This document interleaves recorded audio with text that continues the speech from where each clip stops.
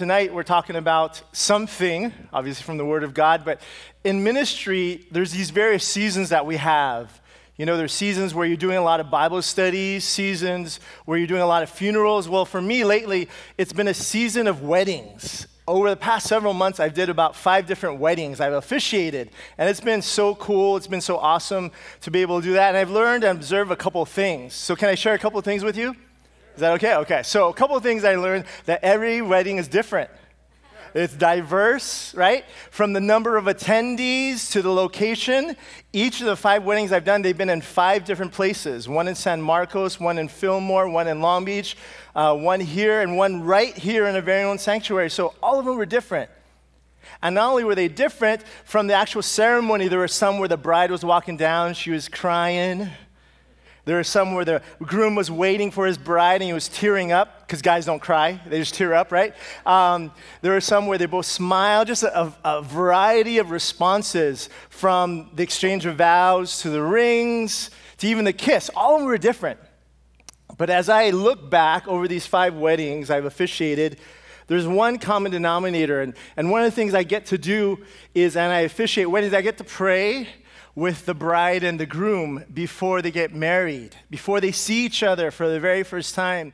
And it's such a cool thing to be there. And I go in, and they're all nervous. They got the nervous butterflies. You know how that is? It's just like, and they're nervous and anxious. How do I look? And doing all this kind of stuff. But one thing I've noticed across the board, and maybe over all the weddings I've done, when I've walked to see and pray for the bride, I knock on the door, I open the door. The bride is always ready. She's ready to go, right? What I mean by that, when I walk in, she's not brushing her teeth, you know? She's not getting a pedicure. She is ready. She is waiting. And as I think about this, I think about even for ourselves here, this bride, and the funny thing is, she doesn't just wake up one day, ta da, I'm a bride. She takes days and weeks to get ready. Any, any former brides in the house of God, right? She gets a foot scrub. She gets a pedicure, manicure. She gets a eyebrow threading. You guys know what that is? I just found out what that is, right? Um, she, she does her hair. She gets highlights. And not only that, physically, that where she, she actually makes herself fit. She does Zumba. She does CrossFit. She goes on a diet right? But all of them were believing women of God, so they obviously not only physically, but spiritually, they, they got into the Word and, and they got prayed over and they were in fellowship. So each of these women were ready for the day. Even some of them, actually, all of them, had a special makeup artist on the day of. That's kind of interesting. They needed an artist to help them, right? So a special makeup artist and a hairstylist. So for this one day, and what do they do it for? For one man, for their man, for their groom, correct? That's what it, it's all this primping and this beauty is all for this one man and this one woman, this, this moment that they have. But every single time, the wife, the bride, was always ready. Tonight, we're going to look at a passage in Matthew chapter 25. It's a parable of the wise and the foolish virgins. That word virgin, you can translate it to maidens or bridesmaids, however you want to look at it. Uh, back in the day, most uh, bridesmaids were virgins, that they had given them over to themselves to purity. So here they are. And as we look at this passage, I want us to think of a couple things as we look at this and read through this. Uh, tonight's Bible study is called Ready or Not, Here He Comes. And that he, capital He, is referring to Jesus. Uh, how many church you, you know that Jesus is coming soon, right? You know he's coming soon, and you know that he is ready to do some things here. Jesus, he's coming soon. Coming attractions, Jesus is coming back for you and me. And the question we have tonight is don't get left behind. Don't get left Be ready for his coming because he's coming soon. In Matthew chapter 25, if, if you're there, let me see your word. Let me see your word. If you know I'm one, get the one in front of you. All right, just pretend. All right, everyone has their Bible. Good. Matthew 25, verses 1 through 13 says Then the kingdom of heaven shall be likened to ten virgins who took their lamps and went out to meet the bridegroom. Now, five of them were wise and five were foolish. Those who are foolish took their lamps and took no oil with them, but the wise took oil in their vessels with their lamps. But while the bridegroom was delayed, they all slumbered and slept. And at midnight, a cry was heard Behold, the bridegroom is coming. Go out to meet him. Then all the virgins arose and trimmed their lamps. And the foolish said to the wise, Give us some of your oil, for our lamps are going out.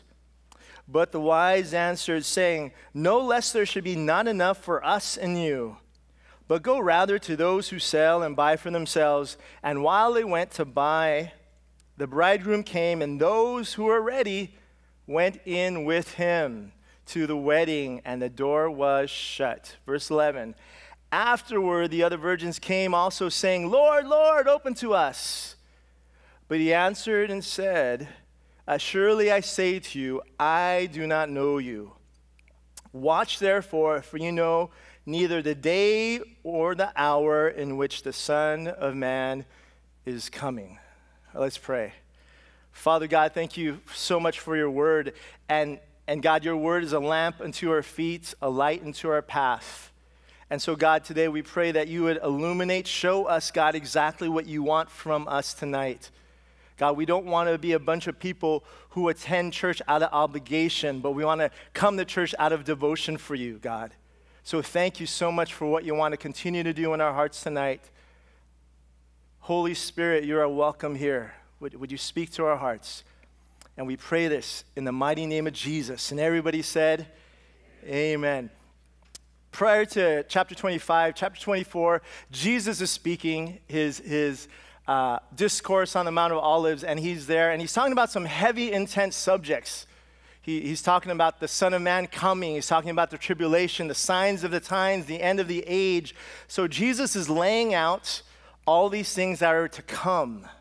And as he lays out these things that are to come, he ends it with this practical application and this parable. That word parable means to, to tell, to cast out, to come alongside. So he lays out all these things that are to come, and he says, Now here's a story. And this story is not about them, but the story is about you, about us.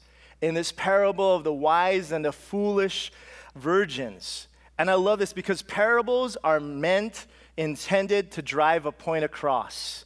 And the point for us tonight is real simple. It's two words be ready. Be ready for Jesus coming soon. And I love it because that's, that's a personal question. I cannot look upon you and say, You're ready, you're not ready, you're ready, you're not. I, I don't know. But you know who knows? Jesus does. So, in this parable in Matthew chapter 25, Jesus lays out this story. This story that, that allows us to see where we stand with the Lord. But it's interesting that Jesus knows us, doesn't he? Uh, how many here, uh, let's say, are punctual? Any punctual people here? On time, all the time? Well, that's not very many. How many here are always, always late but worth the wait? Raise your hand. All right. Okay. Good. Good. Good. So, so you are here tonight with my disease, yes, uh, the lateness disease. So you understand what that is to be late. And, and God knows his people, doesn't he? All throughout history, he would send prophets, he'd send his word, and the people, they would not change, correct? The nation of Israel, right? He would give them warnings and signs, and they remain the same in sin in the days of Noah, if you look at Luke chapter 17, right, it says uh, they, they drunk, they, they got married, and when the floods came, the door was shut. There came a time when there was no longer entrance for salvation in Noah's day. And as I think about it, there will come a time for all of us when, for Noah, it was the ark that was shut, but for us, salvation. And so as we look at this uh, parable in depth, I pray that you would learn what God is trying to speak to your own heart. I don't know where you are with the Lord today, but He knows where you are with the Lord tonight. And even as we're, we're worshiping earlier, I was just being reminded God, would you speak? Speak to my heart, speak to our hearts tonight, God, that we would hear your voice clearly. A lot of us, there's a lot of noise. Anyone hear some noise lately? things that aren't of God, but it's like static and just you're not able to hear Him clearly, I pray that as we look at the Word of God tonight, that we would clearly say, Are we the wise or are we the foolish? And if we're the foolish tonight, help us become wise. Help us not to be of that, that group there.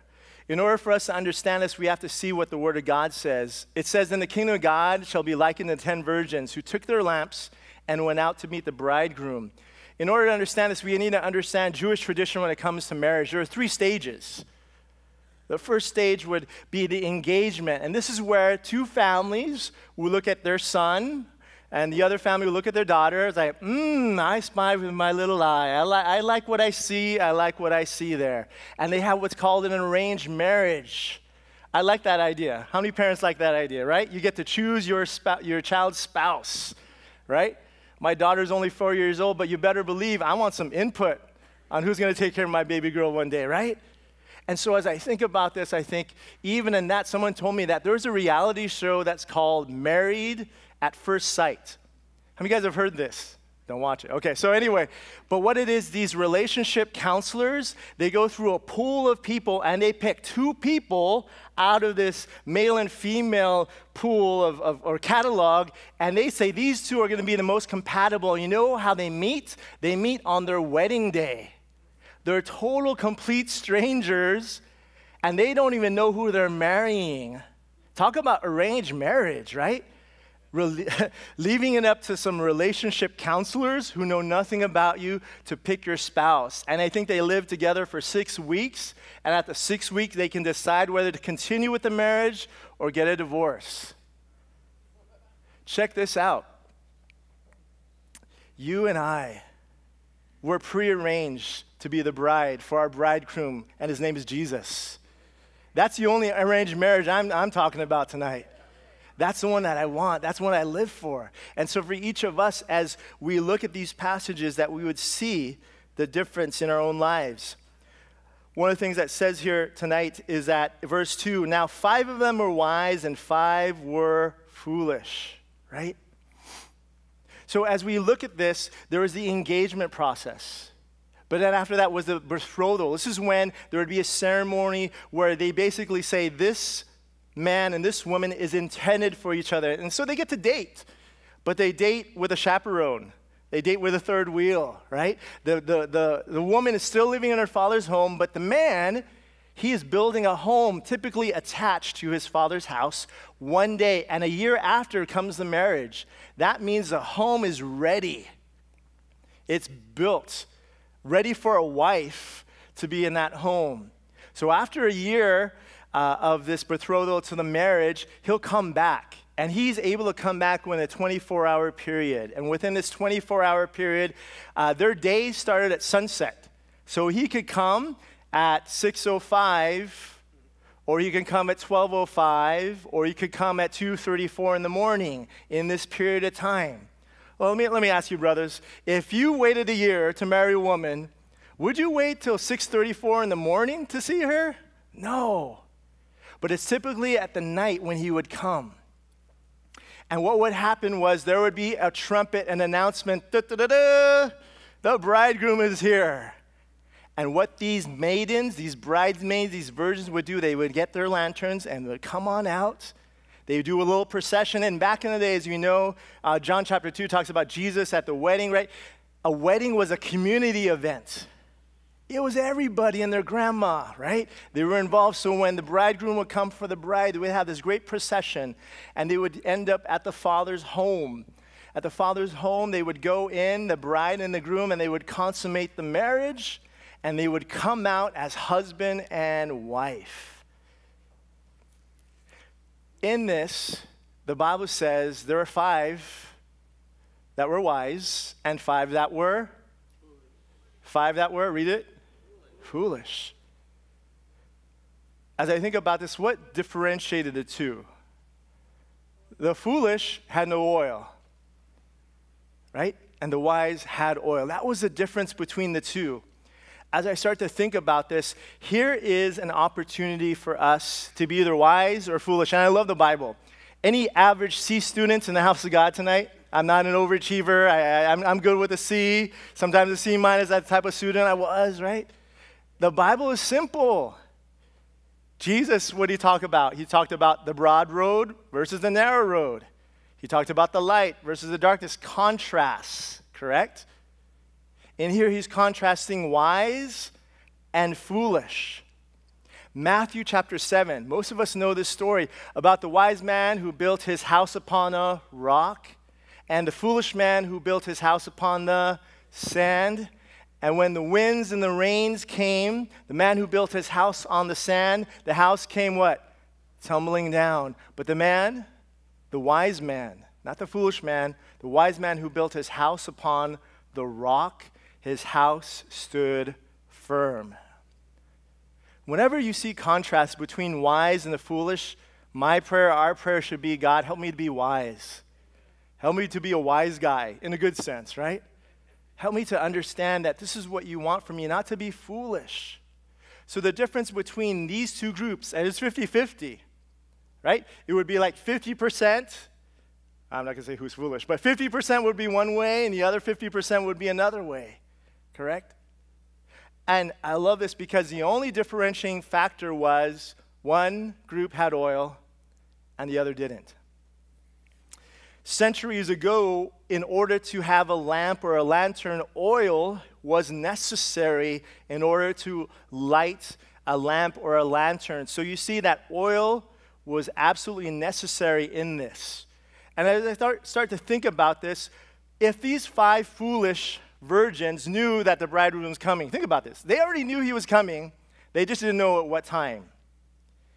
Why wouldn't they have the oil? right? It would make sense. Here, the bridegroom's coming within 24 hour period. Well, it makes sense that I should be ready. Anyone here a procrastinator? Mm, all right. You're foolish then. Okay, no, just okay, but that's that's that's the disease that's going on here, correct? They have the thought, I'll have time later, correct? There's always tomorrow. Or maybe they're not even thinking ahead, right? You ever moments where you have a lapse of, minute, uh, a, a, lapse of your memory and you don't even think ahead? Uh, ladies, let me tell you, uh, ladies, if you have a husband or you know a brother, right, and you ask him a question, what are you thinking about? He's going to say nothing. And like, no, no, no, no, really, what are, you, what are you thinking about? You can't be thinking nothing. He's like, no, I'm thinking nothing. Ladies, he's really thinking nothing. There's nothing going on in there, right? And we have moments where we're not thinking ahead. Or better yet, maybe they're just living for the moment, living for the here and now, the temporary, what is right in front of me. Sounds very familiar with our world today. Living for the here and now, living for what feels good right now. And the difference between the wise and the foolish was what they had those who had the oil and those who didn't have the oil. Oil, as we said, as you know, all throughout the Bible, oil is representative of the Holy Spirit. Every time you see oil mentioned, especially in Zechariah chapter 4, when it talks about the oil, not by might, not by power, but by my spirit, says the Lord. In order for the lamp, the lantern to be lit, there had to be oil. Without the oil, the virgins, the bridesmaids, would not be ready for the bridegroom. Without the Holy Spirit in our life, there would be no way for us to be ready for the return of Jesus. Couple scriptures. Second Corinthians chapter 1 verse 22 says this, who also has sealed us and given us the Spirit in our hearts as a guarantee. Paul, talking to the Corinthian church, he says, The Holy Spirit is a guarantee, it's a stamp. You are sealed, you are guaranteed, you belong to Christ. This morning, if you hear Pastor Jeff talked about baptism and identifying ourselves with Christ, the Holy Spirit is evidence that He's living in you. Galatians chapter 5, 22 talks about the fruit of the Spirit, the Holy Spirit, which is love, joy, peace, gentleness, self control, right? And as it goes on, it says, But without the Holy Spirit, how can we be ready for the return of Jesus? Ephesians chapter 1 13 says, In whom you also trusted after you heard the word of truth, the gospel of your salvation, in whom also, having believed, you were sealed with the Holy Spirit of promise. Do you realize the day that you accepted Christ, our Father God sealed you with the Holy Spirit, identifying you as belonging to God? As I, as I think about this, there are days when I am full of the Holy Spirit, and there are days when there's very little. And on those days when there's very little, I ask God, fill me. And maybe that's you tonight. Maybe you, you, you want to be wise, you want to be wise and have oil in your lantern like these wise virgins.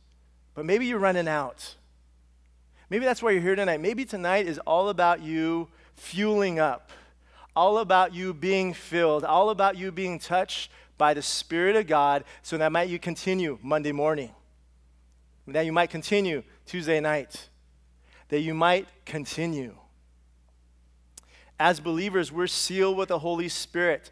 I love it. Salvation is not a possibility, it's a promise. Because you are sealed with the Holy Spirit.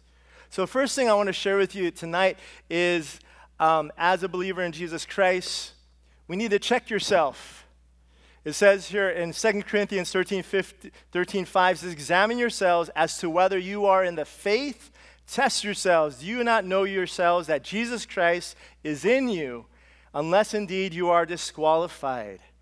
There used to be this saying that says, Check yourself before you wreck yourself, right? And it was actually taken out of a, uh, a company that did car brakes. And it's talking about better check your brakes before you wreck yourself. And the rule rules kind of changed it around. Well, the whole idea is before I can judge and look at anybody else, I need to check myself. I need to examine myself. If you're really good with your health, you get a self examination at the doctor once a year. He checks your blood, he checks your pulse, he checks your heart. He makes sure you're doing okay. And sometimes we get a good report, and sometimes we don't get, a, we don't get such a good report, correct? And while it's dependent on what you're taking in, what your diet is like, if you're exercising in the same way, how do you know you're ready for the return of Christ? How do you know you're ready for the bridegroom? How do you know that Jesus is coming and you'll be ready for him? Check yourself. Paul, as he was writing to the Corinthians here, he, shared real simply uh, that he asked these Corinthian Christians to consider and ask yourself Am I really a Christian? That's a simple question to ask each of ourselves. And if I ask you today, who here is a believer in Jesus Christ? Oh, amen. Who here is going to heaven? Oh, amen, right? But I say, if I say, who here is faking it? Raise your hand, come on, right? Who here is trying to be a poser, a pretender in being a Christian? None of us would. But I love it. Man sees the outward, but God sees the heart and He knows. And so, this message, this, this part here that we need to check ourselves is really the heart behind it is that we would examine ourselves and not to assume or presume because of church attendance or because I give a tithe or because I have a Bible and it's engraved with my name, that all this should give me entrance into heaven. The number one factor I need to ask have I accepted Jesus Christ into my heart? And what is the evidence that you and I are believers? That I see Jesus in you, that you see Jesus in me, right? That as we look at the world, there's a difference. Thinking about uh, uh, differences, that we should see difference, differences in each other that's different from the world. The way that Christianity, that believers interact, should be different. And if there's not a difference, ask the Lord to make a difference in ourselves so that people can see. As I was mentioning, uh, my daughter Shiloh, uh, we have a friend, and they adopted an older dog. And they were over the house, and uh, my daughter was asking uh, our friend, Oh, why did they give away the dog? You know, it's old, it can't see. And uh, our friend says, well, you know, maybe they didn't want to take care of it, and maybe they didn't want to love on it, right? And that was the key word. They didn't want to love on it. And so my daughter said, oh, is it because they don't know Jesus? In her mind, if you know Jesus, love Jesus, then you're a believer. And I love that. They will know we are Christians by our love for one another. How, how's your love doing? How's your love doing for the person in your household? How's your love doing for that unlovable in your workplace? How's, how's that going lately? And maybe as we check ourselves, we check those attributes about us that God is working on. Oftentimes we have to ask ourselves, Lord, is there anything I'm doing in my life that's grieving you, that's grieving your Holy Spirit? God, the way that I conduct myself, the way that I speak to people, the way that I act towards one another. Lord, would you check my heart? Would you see those things that are there? Psalm 26, 2 says, Examine me, O Lord, and prove me. Try my mind and my heart. Psalm 139 says, Search me and know me and know my anxious thoughts. There's all kinds of people, and, and anyone can be religious, correct? Anyone can go to church. And maybe we think that's what we need. Uh, one of my favorite Bible expositors, uh, J. Vernon McGee, he breaks it down this way. He says there's three kinds of people those that are, those that ain't, and those who think they are, but they ain't. I pray we're not of that third, that we think and we presume because of my family status and my grandparents who were pastors or, or the bumper sticker on my car or because people know me at church that this qualifies me entrance into heaven. The Bible says if we confess with our mouth and believe in our heart that God raised Jesus from the dead, then we will be saved. And I pray that for each of I pray that every single one of us in the house of God tonight, that you already know, you're rest assured, your salva- salvation is secure, that you're going to heaven. But with that, I want to ask yourself, ask yourself, right? If the Holy Spirit is in us, if we have the oil, remember our story about the parable of the virgins, right? Is there light coming from my life? Is there warmth? Right? I love uh, interacting with people who are very hospitable and they're very compassionate. You know how this, oh, hi, and they give you the hug, not the Calvary side hug, you know, they're just like, oh, loving on you and all this kind of stuff. But then you know what it is to meet someone who's cold. Hi. Hi, you know what I mean? Just this, this is real, man, church, I pray that we be a church that be inviting, that would be warm, that would be compassionate, that people would see who it is that we serve. As we continue, verse 5 says, But while the bridegroom delayed, they all slumbered and slept. I like this. The bridegroom delayed. He was late. He, can, he, he didn't come on time or when they thought he would, but he came at an hour when they didn't expect him. If you ever had to wait for somebody after a period of time, right? And it's late at night, the tendency for us is what? To nod off. How many ever confess? How many here have been in a prayer time late at night and you fell asleep? Right? How many have been in the daytime you fell asleep, right? Especially with the brothers and sisters who love to pray. I'm guilty. I pray long, right? But but you're praying, oh, right? And it's warm, right? And, and they have a monotone voice. Right? And all of a sudden you do want to, you know, do one of those, right? I remember one time we were in the Philippines, we were in this little jeepney, and I was so tired, and I think we were praying, and I was holding on to the bar like this. And, and I kid you not, I, I, we hit a bump, we're like, praise the Lord. You know, I was, I was asleep. I was like, praise the Lord. I don't know what we're praying. And like, we weren't praying, we were worshiping. I was like, okay. So, so what does this all mean? I'm reminded of the disciples in the garden, the Garden of Gethsemane. Jesus brought the three, Peter, James, and John, sit here, pray lest you enter in temptation. And what do they do? They snooze. They fall asleep. They nod off. And Jesus comes like, ay, ay, ay, what happened? He says, what? The spirit is willing, but the flesh is weak. See, these bridesmaids, these virgins, think it, it's not just the foolish who fell asleep, the wise fell asleep also. So remember, there's a difference the wise and the foolish. The wise with the oil, the foolish without the oil. But here, the bridegroom is delayed and they all fall asleep. They all fall asleep in the midst of that. And as I think about this, part of it is that he won't come yet. The bridegroom, he's still probably building the roof. It'll take a couple hours. So let me just let me just relax for a bit. Be very, very careful. Remember David? When he sinned with Bathsheba, he was supposed to be out. It was war season, but he decided to stay home. He's decided to, to relax, to, to, to kick back. And in the midst of that, that's what led to his sin. I heard, read this quote. It says, The enemy can't fool us and say that there's no God. The enemy can't even fool us by saying that there's no hell. But the enemy can fool us and tell us that there's no hurry. Relax. Don't worry about it. You'll have enough time. Your family and friends, they can wait. Talk to them about Jesus next week. Tell your coworkers going through a tough time, say you'll pray later. Put it off. The devil is good at that, isn't he? Do it tomorrow.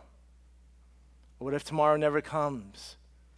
So, what's going on here is they slept as they slumbered, right? He basically told them, You have time. James tells us what? Chapter 4 You're but a vapor here today and gone tomorrow. And the older that I get, more and people, more and more people start to, to fall off the map of life, right? If you're over the age of 40, those people that you were with at when you're 20 years old, slowly but surely, right? Grandparents, aunts, and uncles. I think I, on my mom's side, a majority of them are widows or widowers that their spouse has gone to be, right? And so as I think about this, the older we get, now more and more that happens. Verse 6 says, I love this. At midnight, a cry was heard Behold, the bridegroom is coming. Go out to meet him. Then all the virgins arose and trimmed their lamps. And the foolish said to the wise, Give us some of your oil, for our lamps are going out. I love this. Now comes midnight. And the bridegroom is there. There's this announcement. And they all arose. They all got up. Isn't that the worst thing? When you've overslept? When you didn't hear your alarm? And you're late for work, right? And as they woke up, they arose, and it says they trimmed. That word trimmed, uh, I think, is a cosmeo, something like that. But it's the same where we get our word cosmetics. So what they did, they they trimmed, they prepared, they adorned, they got their lanterns ready. And the wise were ready, and the foolish weren't. See, the foolish decided to procrastinate and wait for a later time. But the wise were ready. Remember, they all slept. And the only difference was one was ready and one wasn't ready. And that oil being a representative of the Holy Spirit. The lamps with the oil, their lamps were lit. Those who didn't have the oil, their lamps were not lit. Ephesians chapter 5 verse 14 says, "Therefore he says, awake you who sleep, arise from the dead, and Christ will give you light." Ready or not, here he comes. He's coming.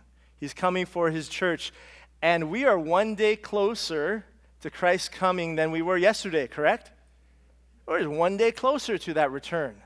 Soon and very soon, we are going to see the King.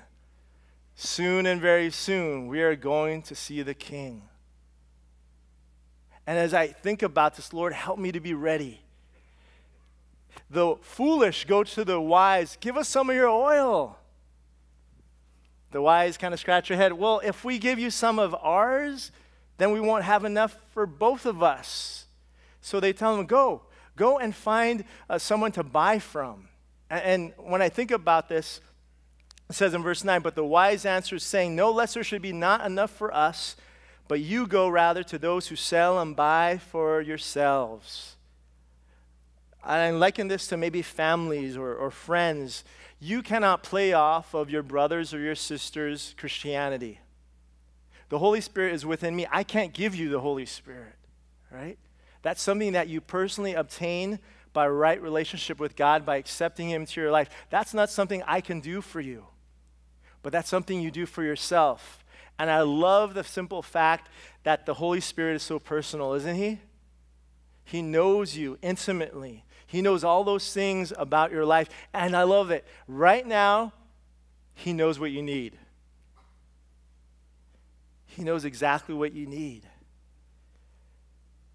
And the only way to be ready is by asking Christ into our life. Verse 10 And while they went to buy, the bridegroom came, and those who were ready went in with him to the wedding, and the door was shut. So those that were ready, those who had awoken and trimmed their lamps, they were ready for the bridegroom. One thing I want to share with you though we not know the hour of the day, uh, we need to do this. We need to be ready for Christ's return. Uh, the second thing I want to share with you is to check yourself, but also to seize the day. Carpe diem in Latin, right? Ephesians 5:16 says, "See then that you walk circumspectly, not as fools, but as wise, redeeming the time, because the days are evil." To redeem the time, make sacred use of those opportunities that were given. To understand what God has done, that light that He has given us is there for a purpose. That we will walk wisely and not unwisely that word for time, when it says redeeming the time, it's not like a time of day, it's not like an hour, but the time, the season that we're in. Aren't we in some interesting times, folks? Right? I'm not even just talking about the presidential election in our government, but just we're in interesting times where there's mass shootings and natural disasters. There are just things going on in this time that's unlike any other days other, other seasons, things that you can't even explain. Sometimes when you watch the news, like, what just happened? How did that? And there's things that happen even in people's lives. It's like, what? Why? What Paul's telling the Ephesian church, he says, walk wisely, not foolishly, redeeming time, not making most of time, but making most of the time. We are in an interesting season, folks. We're in a season where we need to take advantage of the simple fact that I can publicly carry my Bible anywhere in the United States and not be persecuted for it. That I can openly talk to anyone I want, as long as it's public property, about Jesus Christ. I can wear a Christian t shirt. I can put a, a, a He greater than I bumper sticker and not get pounded or sent to jail for that. We are living in this time, and I believe Paul understood that. He understood we need to redeem a time because there will be a time when some of this will be unlawful. You won't be able to do that. Redeem the time, make the most of every opportunity that you and I have. The days are evil. If we look around to those things, one day Jesus is coming back. He's coming back for the church. There's a song by uh, Crystal Lewis says, People get ready. Jesus is coming. Soon we'll be going home. People get ready. Jesus is coming to take from this world his own. People get ready. Jesus is coming for us. And he's coming for us. Are we going to be ready? Are you getting ready for him to come back for us? And some of you might be here today and thinking, what, what does that all mean? Seize the day. Take every opportunity wherever you go, right? How many here go to other places other than your home and church? Right? How many here see other people throughout the week? Okay. All right. Some of you guys need to get out more. Okay. So you have this wonderful opportunity to talk to people, right? And it doesn't take much. I, I, I, I got to do this. I, I dare you. Mm, I double dare you to go outside those doors. There's a harvest crusade. There's flyers like this, right? And I put out some eternity tracks. I dare you. Don't be a chicken. No, no, no, I'm joking. But I dare you, pick one up and give it to someone, a total stranger. Don't give it to your mom. Don't give it to your dog. Give it to someone you've never met before, right? Seize the opportunity, seize the day. Can I tell you how easy it is? Say, how easy is it? Ask me this easy. So, how you doing, sir? Did you get one of these? No. Oh, there you go. All right. How you doing, sir? Did you get one of these? No. Oh, there you go. Bam. Was that difficult? Was that difficult? All right. So, why do I, why do, I do that? Because there's a lot of people that are lost and broken, and they need hope. They need, they need Jesus. They need Jesus. And guess who gets to represent Jesus and give them Jesus? Who? Turn to the person next to you. You get to tell people about Jesus. Tell them that. You get to tell people about Jesus. All right.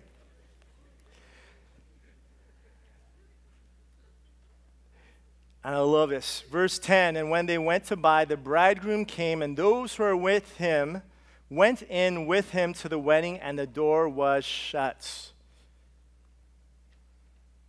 The door was shut. The wise who had their oil and their lanterns entered in. That kind of tells you what's going to happen with the foolish, right? You kind of know where this is going. The wise versus the foolish. And as I start to think about this, remember the point is preparedness. The point is being ready for Christ's return. Yes, check yourself, make sure you're of the beloved, make sure you're walking with the Lord. At the same time, seize the day, make the most of every opportunity God has given you. But the other thing that comes to my mind is uh, no one left behind. I think all throughout Greek history and mythology and even the French Indian War, this, this term came about leaving no one behind. Anyone here have unsaved family and friends?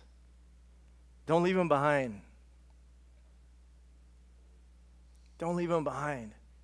There are many people that need to hear that. There's people who are lost, who are broken, who are held captive. Check this out. 2 Corinthians chapter 4, verse 4 says, The God of this age has blinded the mind of believers so that they cannot see the light of the gospel or the glory of Christ, who is the image of God. It's, it's a, a tragic but accurate depiction of the state of our world today. He says, without hope and without the God that we serve, right? We need to understand and believe scriptures in its description of people when it comes to salvation, there's no such thing as a plan B. The plan A is that you would go tell it. That's it. How will they know unless you go? 2 Peter chapter 3 verse 9 it says the Lord is not slack concerning his promises as some count slackness but is long suffering towards who? Towards us, not willing that any should perish but all should come to repentance. God is faithful to keep his promises, isn't he? He's the best promise keeper. But also, not only that, he is long suffering. He suffers long. Did the Lord suffer long with you before you came to Christ? I think for the Lord, like, come on now. Man, time's a wasting, right? Aren't you so glad that he waited? Right? Aren't you so glad that, that how many of you are happy that Jesus didn't return 10 years ago? Because you might not be here, right? How many glad he didn't return five years ago because he wouldn't be here? How many glad he didn't return two years ago because he wouldn't be here, right? Think about that. Because he waited, because he was patient, because he was loving, you entered in. You had the oil. You were ready, ready for his return. And not willing that any should perish. And I love this passage because it, it reveals God's glorious heart, his big heart for people as we know the story of Jonah, I'm going to hit you hard with this, okay? You may be a Jonah in this room. God is prompting you to go tell someone, a group of people, your family, but you're running. You're a runner. And maybe today, God's saying, Do my will, belly of a great fish. Choose. And for many of you, like myself, it stinks in the belly of a fish. And then I begin to stink. Then I become miserable. And when I'm not in the will of God, my heart becomes hardened. But I love this, guys. God always wins. So you can run, but you can't run very far. And He'll bring you back. And His will will be accomplished in our lives. Peter, as he's stating this, it's really Jesus' heart for the world, right? that none would perish, that he would have this compassion towards the people, that his love towards mankind is that they would all be saved. Uh, my brothers, my sisters, family, um, let's help others be ready for the bridegroom coming home. Let's help others be ready with the oil in their lanterns. Let's help others uh, be ready to speak uh, uh, to their maker, to their creator. You know, and, and some of you here today, you might be saying, well, that's, not, that's just not my gift, you know. But if you tell me to do this, I'll do this. But I'll tell you this. There's a scripture that I absolutely love in Romans chapter 10. It says, How then shall they call on him in whom they have not believed? And how shall they believe in him of whom they have not heard? And how shall they hear without a preacher? And how shall they preach unless they are sent? As it is written, How beautiful are the feet of those who preach the gospel of peace, who bring glad tidings of good things. How will they know unless you and I go? And in the context of people that we know, Maybe you have a relationship with people and they're not believers, they're not walking with the Lord. You would love for them to come to church with you one day, but right now they're not. And you're debating should I say something? Should I not say something? Well, I'd rather be the one who spoke too much as opposed to the one who didn't say anything at all. My brothers and sisters, may we be a people, may we be a church that speaks often about our God that we could have but help speak. For the love of Christ compels us, it constrains us. That I can't help talking about Jesus. That even the laws and the rules of the world try to confine us, correct? But you just can't help yourself. Last year, we went on a mission trip to India. And in India, uh, we're not allowed to evangelize at all. And that's really challenging for some of us we can't pass out tracts. We can't have a Christian t shirt. You cannot represent Christ at all. And that's where we really just have to have our little light shine so bright where people would see Jesus. So, our guide, we're at the train station, our guide's, guide says, okay, you, you just sit down and you maintain yourself and you don't you can't make a ruckus because there's hindu radicals and the hindu radicals if they see you're trying to share uh, the gospel or convert people they'll come and pounce you and do all these crazy things so we didn't well, we're waiting at the train station, and I see these three boys coming from after school 10, 11, 12 years old.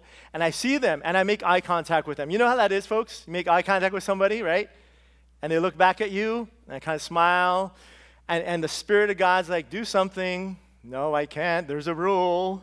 I have to obey. I'm the leader, right? Uh, and I'm standing there and they keep looking at me and say, oh, da, da, da. I'm trying to ignore. And then you look back and they're looking at you and they're on the railroad tracks walking and it's like, ah. If I've ever had a, a battle, that was one time I, ha- I, I sensed a battle. Obey man, obey God. And what do you think I did? I obeyed God, right? So I go and we had these little wireless bracelets. I come here and I'm sitting on the edge of the railroad tracks, and they're coming by, and I'm like, okay, the, the, the red represents Jesus. And I don't know if they even understand me. This represents the blood of Christ. This is representative of sin. This is representative of that, right? And all I hear is, Pastor Dennis. Uh, yes, Brother Sam. Our guide calls us back. And he says, You know, we shouldn't do that, this and that. You know, you're the leader, right? Yeah, I know I'm the leader. I know. It's not a good example. I know, right? But I said, Brother Sam, I just, I had to. I had to seize the opportunity because those kids are lost. I need the hope of heaven. You know what? There's a lot of kids out there. I'm not talking about age. There's a lot of God's creation outside these walls who are hurting, who are dying, who need the love of Christ. That you and I have this wonderful opportunity to share with them who He is. And I'll tell you this if you are in a spiritual rut, if, if you're maybe in a desert, maybe if in your heart's like, man, it's gotten hard and I used to love doing that stuff and now I don't, the best thing you could do yourself is tell people about Jesus. Tell them how much uh, He loves them how much uh, that he yearns for them to live that right relationship. Because I do know this, and this is something that uh, across the board. The more and more I share the gospel, the more and more I believe it. Is that not true? Some of you have jobs where you do the same thing all the time you could do in your sleep, and you believe it. You'll bank your life on it. How much more the gospel? How much more the Bible, the things of God? That we should live our lives according to those things. I pray that the message that we preach would enable others to be prepared for heaven the wise and the foolish. That last verse there basically says, Watch, therefore, for you know neither the day or the hour which the Son of Man is coming. He's coming soon. And with that in mind, I pray that all of us, number one, that you're ready to meet your Maker. Number two, that you're making the most, seizing the day, making the most of every opportunity in your life. And number three, that we don't leave anyone behind. The worst thing that we could ever hear is someone say, You never told me. You never told me. Why didn't you tell me? My brothers and sisters, it's time for us to rise. It's time for us to stand. Enough sitting. We do need to do more standing. We need to do more speaking. And not in our own strength. Get, let me just tell you remember, it's the oil it's the Spirit. It's the Spirit of God intermingled with the Word of God that people would know truth, and truth would set them free. Amen? Amen. Let's pray. Father God, we just thank you for this day that you've allowed us to have, and thank you for your Word, and your Word shows us how to live and how to conduct ourselves. And I pray even now, God, that you would continue to speak to us that we would be a people that always choose you first. That we would be a people that live for eternity, that are not merely prepared for your coming, but we're ready. To be ready in season and out of season to preach the gospel, to love on people, to have them see you in the midst of all things. And so, God, you know each of us in this building, in this this, this church right now, and you even know our hearts. And, and God, I just pray, Lord, if there be anyone here who does not know you, that they would say yes to you tonight, that tonight would be the night of salvation for some.